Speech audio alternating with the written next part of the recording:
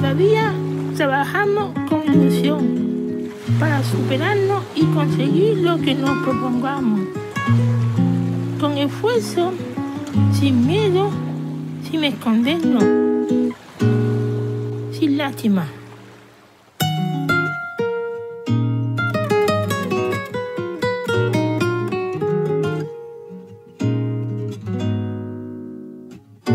Vamos a ponerle más hora al día, vamos a crecer para que haya más sabiduría, vamos a dejar de querernos un poco más. Y vamos a echarle una mano al que está detrás, vamos a quitarnos la rebeldía, vamos a pelearnos con quien se lo merecía, vamos a cuidar la mano que da de comer, aunque tu alma de noche no duerma bien. Vamos a olvidarnos de la hipocresía Que si no valemos para vivir el día a día. Acuérdate que mis ganas valen por dos Que a ti te dieron ventaja y en la razón Quiero enseñarte yo la valentía Quedarme esperando, mirando los días Desde aquí, mirándote desde aquí. Soy yo, el que también quiere una vida Soy yo, el que ya sabe lo que quiere Soy yo, no se queda contigo Soy yo, soy yo, soy yo, soy yo Soy yo, el que también quiere una vida Soy yo, el que ya sabe lo que quiere Soy yo, el que no se queda contigo Soy yo, soy yo, soy yo, soy yo,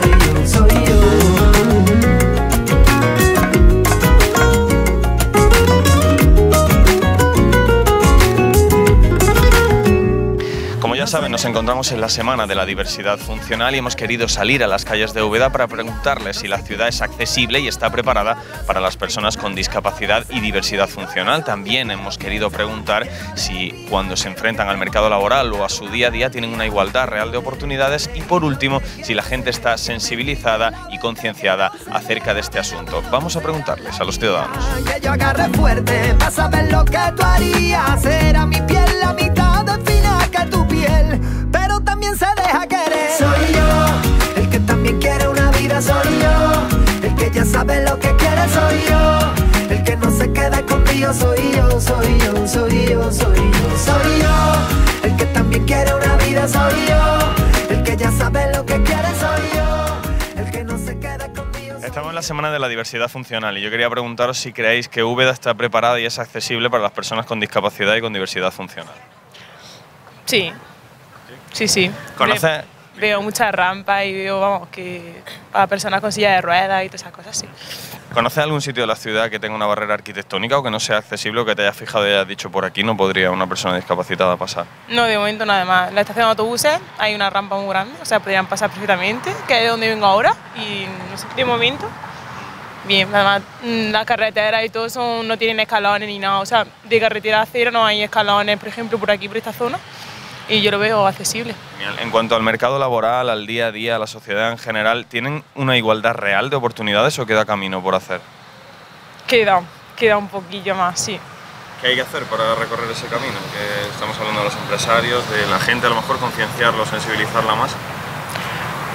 Sí, concienciar más a la gente, sí, de que, de que, que- de que día a día tenemos que convivir con, con gente discapacitada. O sea, yo no veo tampoco mucha, mucha gente día a día que, que haya gente, a lo mejor no, no salen por eso, o no están en la calle por eso, porque hay muchas dificultades, o a lo mejor solo pensamos en nosotros que, que caminamos y lo tenemos todo hecho y no pensamos en los demás también.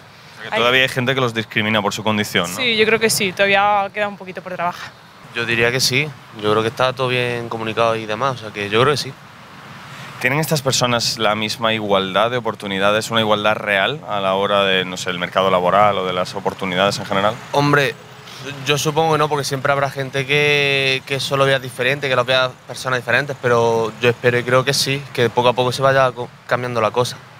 Y por último te pregunto por, por la gente en general. ¿Está concienciada y sensibilizada o nos queda camino por, por recorrer? Nos queda camino, pero yo creo que día a día sí que se va mejorando eso y cada día la gente yo creo que sí que está más concienciada, sí. A ver, mm, hay cosas que faltan, la verdad. Pero mm, dentro de lo que cabe parece que están, que están haciendo cada vez más cosas, están intentando que esté cada vez mejor y, y yo por lo menos, yo por mi parte, yo sí veo que, que estén intentando por lo menos conseguirlo.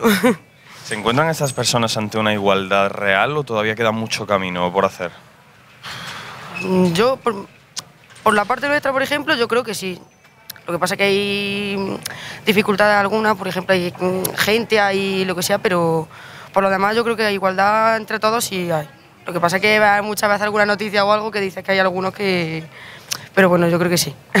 Y por último preguntarte por la gente. ¿Está la gente totalmente concienciada y sensibilizada en este tema o también en ese sentido tenemos mucho que aprender todavía y mucho que avanzar? hay mucha gente que sí tiene que aprender muchas cosas. No todo el mundo, pero sí hay algunos que sí. Haría falta mucho más de lo que, de lo que ya hay, pero sobre todo también mucha gente de Úbeda no está preparada para, para lo que necesitamos. Hay muy poca concienciación en ese tema y somos muy pocos cívicos todavía, la verdad. Hay mucha gente que aparca en, en zonas habilitadas para, para este tipo de, de personas y sobre todo, bueno, los pasos de cebra tenéis que verlos. Aparcan encima, una persona en silla de ruedas tiene que rodearlo, sí. Eh, hace falta todavía mucho civismo en Úbeda. Aparte de ese tema de los aparcamientos, que, que, por ejemplo, ¿en qué más se puede avanzar o, qué más se puede mejorar de, cara a esa concienciación y esa sensibilización? Mm, Yo es lo que más he notado, la verdad que tampoco, bueno, tengo la, suerte, por así decirlo, de no tener a alguien cercano a mí que, que tenga ese tipo de, de problema, entonces lo que yo veo por la calle es sobre todo, sobre todo eso. Y respecto a eso, estamos hablando respecto a la concienciación, la sensibilización, pero cuando se enfrentan, por ejemplo, al mercado laboral o al día a día, ¿crees que tienen una igualdad real de oportunidades las personas? No, yo creo que, creo que no hay una, una igualdad real como tal. Sí que es verdad que muchas empresas están empezando, gracias a bonificaciones que tienen por contratar a este tipo de, de personas con estas circunstancias, pero yo creo que realmente a día de hoy no, no hay una igualdad real. Por último, y volviendo a la primera pregunta que, que te hacíamos, ¿conoces tú algún caso concreto de una barrera arquitectónica de una zona de la ciudad que no esté preparada o, o no, sea accesible para ellos? Eh, no, la verdad que no sé, yo así a simple vista, por lo que vas viendo, sí que la verdad que el ayuntamiento de Úbeda, pues bueno, tiene todo más o menos bien preparado y tal, pero es sobre todo la gente, realmente lo que, que es lo que te comentaba antes, que aquí en Úbeda la gente pues todavía le hace falta un poquito de, concienciación y tal. Eh, barrera arquitectónica por parte del ayuntamiento de Úbeda, que yo sepa, no, no hay algo así tan grave como que a lo mejor lo hay, pero yo no lo conozco. Ya te digo que no me voy fijando en ese, en ese tipo de cosas, pero es el, es lo único que te puedo decir. Creo que falta todavía trabajo por hacer, pero que mm, lo veo a- en estos últimos años se ha adelantado mucho en el tema este. ¿Hay alguna barrera arquitectónica una zona que no esté habilitada o accesible que usted conozca o que se le venga a la cabeza ahora mismo? Mm, Yo, mi trabajo, claro, paso por todas las calles y veo algunos sitios, pero a lo que es la fuera de la ciudad, fuera, lo que es fuera, en lo que es eh, centro urbano lo veo muy bien. ¿Tienen estas eh, personas una igualdad real a la hora de salir al mercado laboral o de vivir su día a día? Mm, hay de todo, creo, pienso, hay de todo.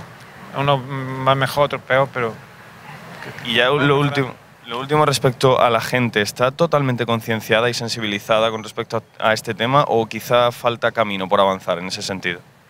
nos falta todavía bastante, sí. ¿En qué sentido? Em, que, mm, que pase más tiempo todavía, sí. ¿Eres de aquí de Úbeda? Mm, Bueno, soy extranjera aquí en Úbeda, llevo Ah. 14 años. Vale, perfecto. Te voy a preguntar cómo es la semana de la diversidad funcional, si consideras que, que Úbeda está preparada y es accesible para las personas con discapacidad y con diversidad funcional. Mm, perdona, pero em, se vuelve a... Bueno, Si crees que Úbeda es accesible y está preparada para las personas con discapacidad o con, o con diversidad funcional. pues sí. No puedo contestarte más que, más que sí, así. Yo la veo muy... Sí, Y, y acerca de donde tú eres, por ejemplo, ¿el sitio donde tú eres está también preparado para las personas con discapacidad? ¿Qué falta allí? Todo de todo. Es que no, de todo, de todo. Bueno, allí no. La persona, bueno, discapacitada, cap- discap- capacitada no, no, no, no tiene, bueno, no tiene valor ninguno allí. ¿Y tienen las mismas oportunidades de cara al mercado laboral, de cara a la sociedad, al día a día que vivimos nosotros, tanto aquí en Úbeda como donde tú eres? ¿Crees que hay una igualdad real o que todavía queda camino por hacer? Hay mucho, padre, padre, mucho, mucha diferencia. Dentro de ese camino por hacer también está la concienciación y la sensibilización de, de la gente ante este problema. Eso sí, de, de la gente sí. Pero, de- bueno, hablo, hablo del gobierno, hablo de de la- del país entero, bueno, no, la- bueno, no. No, no puedo explicártelo más, pero sí, no. Como ya saben, estamos en la semana de la diversidad funcional. Os voy a empezar preguntando de dónde son. Somos de Valencia. De Valencia. sí. Muy bien. Eh, voy a empezar preguntándoles por aquí, por esta ciudad. ¿Creen que está preparada y es accesible para las personas con discapacidad y diversidad funcional? Pues no la conocemos mucho, hemos estado mediodía y hoy queremos pasarlo aquí todo el día, pero hemos encontrado que es una ciudad muy agradable para pasear y, y muy despejada y no la conocemos suficientemente bien, pero, pero no hemos visto ningún obstáculo especial. No. Perfecto. ¿Y, y qué hay de Valencia? ¿De dónde son ustedes? Eh, ¿Conocen algún, en su barrio, en su ciudad, alguna barrera arquitectónica, alguna zona que sea menos accesible para, para esas personas? Bueno, pues en Valencia lo que pasa es que hay un casco viejo muy antiguo, eh, que es muy grande, entonces son calles estrechas, con aceras pequeñas y, y mayor dificultad. En las zonas nuevas sí que eh, se ha hecho mucho eh, realmente para... Sí, y se está, para- haciendo, se está haciendo. en la zona de mi trabajo en estos momentos se está bajando a nivel de los pasos de peatones todas las aceras pero luego hay contradicciones como centros de trabajo que tienen muchísima escalera y cosas así En, eh, ya hablando un poco de, por ejemplo, cuando se enfrentan al día a día, a la sociedad, al mercado laboral, eh, ¿tienen una igualdad real de oportunidades las personas con diversidad funcional y discapacidad? Supongo que no, que la vida es injusta eh, en todo y con ellos más seguro. Ojalá tuvieran alguna ventaja, deberían tenerlas menos, pero me imagino que no. Y ya por último, hablando de la sociedad, ¿está totalmente concienciada y sensibilizada sobre este tema o hay camino todavía por recorrer y hay mucha gente que lo sigue discriminando por su condición? No lo creo que sí que hay gente todavía que, se- que discrimina al que no es igual y que cree que el que en, en una oposición haya unas plazas especiales para los minusválidos pues no le parece bien porque les quita una plaza a los que no tienen una minusvalía una discapacidad. Pero que me imagino que la proximidad con este tipo de problemas para las familias o para los amigos que conocen a un caso concreto, pues les hará ser mucho más sensibles que los que no han tenido la suerte de no tener este problema. Pero en fin, la vida sigue siendo injusta en general, o sea que no creo que tenga un arreglo fácil. Hombre, hay zonas en las que sí, por supuesto, por ejemplo esta calle que es plana, es, eh, eh, tiene bast- la mayoría de los comercios tienen rampas de acceso y tal, pero luego el resto de la ciudad por una cuestión aparte de cuestas típicas, ¿no? Es bastante eh, difícil, Eh, pero creo que con el tiempo y con el querer hacer de cualquier tipo de gobernación puede eh, ir adaptándose para que todos tengan las mismas oportunidades. Yo creo que sí, de a poco. ¿Alguna zona que te venga a la cabeza en concreto sobre que sea más difícil o menos accesible? y sobre todo zonas y calles del casco antiguo que son con bastantes cuestas, hasta el mismo empedrado a veces eh, es difícil, ¿no? Con tacones, pues imagínate de otra manera, pero eh, creo de verdad que con el tiempo lo que pueda adaptarse mm, se va a hacer. En cuanto al mercado laboral, cuando se enfrentan a su día a día, la sociedad en general, ¿cree que tienen una igualdad real de oportunidades? ¿Qué quieres que te diga? Sinceramente pienso, depende del grado de discapacidad que haya. Eh, es tan relativo como la formación que tenga una persona para acceder a un puesto de trabajo y la que no lo tenga, ¿no? Eh, eh, yo creo que sí, aparte en, en ciertas ocasiones hay hasta subvención, ¿no? Por contratar a gente con eh, 33% de discapacidad. y, eh, depende, depende, depende de cada discapacidad y, y- y- y para el puesto de trabajo que quiera acceder, ¿no? Y ya por último le pregunto por la sociedad, ¿está totalmente concienciada y sensibilizada con este tema o queda camino por recorrer y, queda mucho que hacer en ese sentido? pienso que siempre queda camino por recorrer, pero que sí es cierto que sobre todo las generaciones venideras, los niños, los jóvenes, eh, están más enseñados. Es una cuestión de, aprendizaje y de cultura y de, y de enseñarnos lo que pasa, que es algo que existe, que no se puede negar, que nos puede pasar a cualquiera en un momento dado y que sí pienso que las generaciones jóvenes, sobre todo, van a venir mejor. Yo creo que sí está preparado, lo que pasa es que nosotros que no somos de, de aquí de Úbeda, somos de un pueblo de al lado, pero todas las veces que hemos venido, yo creo que todas las tiendas y todo está, está acceso, buen acceso. ¿De, dónde eres? De Pedal de Cerro.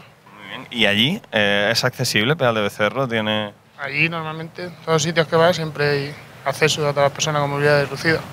Tanto aquí como allí, en todo el país, cuando se enfrentan al mercado laboral, a la sociedad, al día a día, ¿crees que tienen una igualdad real de oportunidades? Yo creo que hoy en día sí. No sé decirte, pero yo creo que hoy en día sí. A mí sí.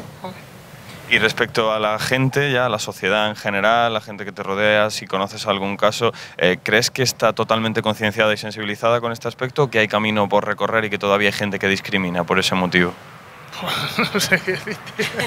Yo creo que no, pero no sé. Es que nosotros, su tío, por ejemplo, está en silla de ruedas. desde pequeño hemos vivido ahí y nada, súper bien, vamos con él siempre. Cualquier cosa genial, no había problema nunca de nada.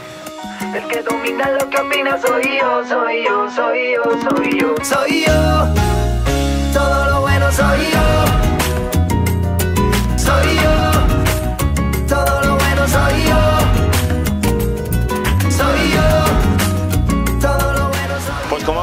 comprobar, por la regla general, la mayoría de los ciudadanos y visitantes piensa que Úbeda está preparada y es una ciudad accesible para la gente con discapacidad y con diversidad funcional. Sin embargo, sí que piensan que hay mucho camino que recorrer, por ejemplo, en cuanto a la igualdad de oportunidades y sobre todo en cuanto a la sensibilización y concienciación de la gente respecto a este asunto. Todo lo bueno soy yo.